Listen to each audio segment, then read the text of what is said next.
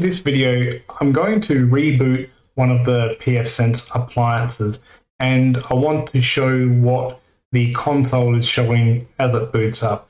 Now with uh, with the, in a virtual machine, it's really easy to do this.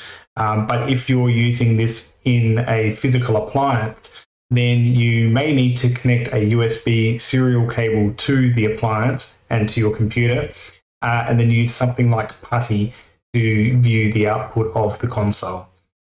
So in my pfSense, I'm going to go to Diagnostic and Reboot.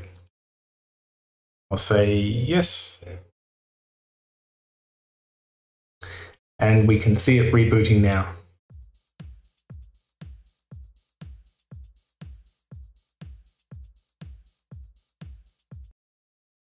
We can interrupt the boot process right here. As you can see, we don't get a lot of time to do that.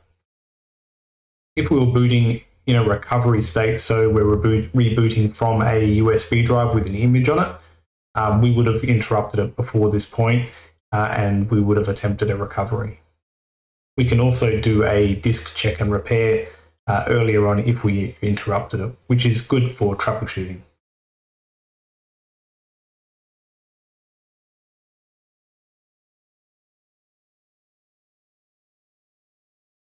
And the boot up is complete.